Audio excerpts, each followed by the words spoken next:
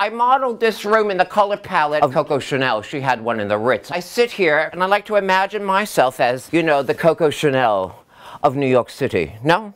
I mean, I'm not wearing Coco Chanel right now, but I just love this room. Don't you?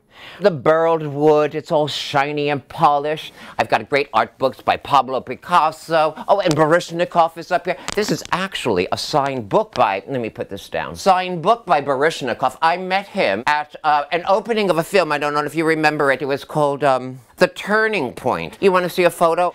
Just him in rehearsal. I call him Mickey.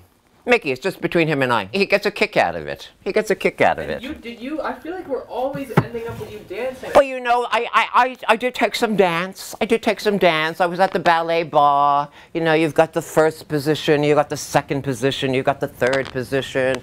I like a little bit of a releve. And I'm just mumbling on right now.